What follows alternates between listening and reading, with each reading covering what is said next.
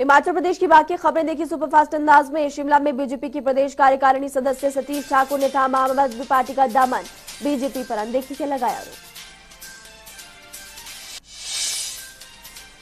हमीरपुर में उपभोक्ता संरक्षण संगठन ने सर्वहित सुधार भवन में की बैठक। संगठन से संबंधित चुनाव को करवाया खत्म। पुरुषोत्तम कालिया को चुना गया अध्यक्ष।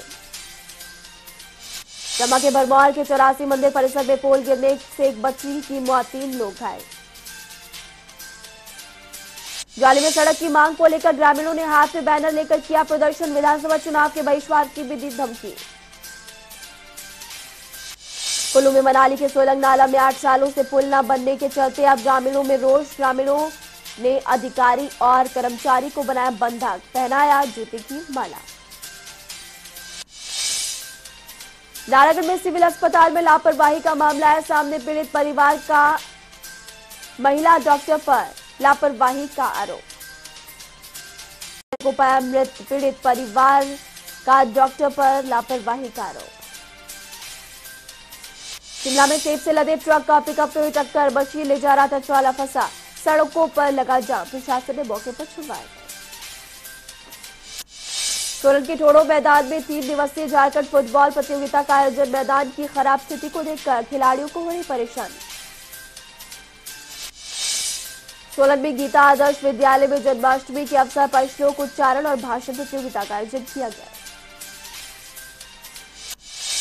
बिलासपुर में चोरी की टैक्सी में टमाटर की जगह सेब ले जा रहे चालक को कृषि उपज मंडी के अधिकारियों ने मौके पर पकड़ा। राजगढ़ के वरिष्ठ माध्यमिक स्कूल में अंडर 19 वर्ग के तीन दिवसीय प्रतियोगिता की शुरुआत की गई। नाहन में बीजेपी राष्ट्रीय अध्यक्ष के दौरे को लेकर कार्यकर्ताओं में दिखा उत्साह। बीस अगस्त को जेपी नड्डा आएँगे हिमाचल।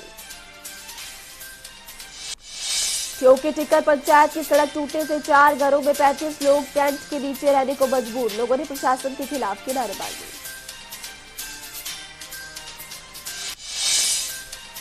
सोलह में लगातार हो रही बारिश से टमाटर, शिमला मिर्च फ़सलों को पहुँचा नुकसान। किसानों ने ज़ाहिर की अपनी परेशानी। जहाँ में एक से चार सितंबर तक बैडमिंटन चैंपियनशिप का आयोजन, चैंपियनशिप को लेकर सिरमौर के डीसी से मिले बैडमिंटन एसोसिएशन के सदस्य।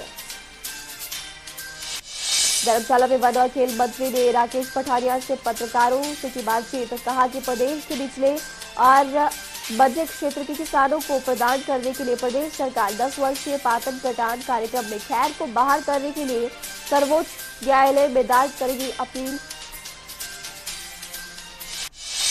सोलन में लोनीवीर कर्मचारियों के साथ दुर्व्यवहार पर शुरू हुई स्ट्राइक प्रदेश भर में जूनियर इंजीनियर करेंगे कलम छोड़ हड़ताल। सोलन के वार्डो में शुरू हुआ विधायक मिलन कार्यक्रम। विधायक कर्नल धनीराम शार्दुल ने सुनी लोगों की समस्याएँ। सोलन के सनातन धर्म मंदिर में धूमधाम से मनाया जाएगा जन्माष्टमी का त्योहार।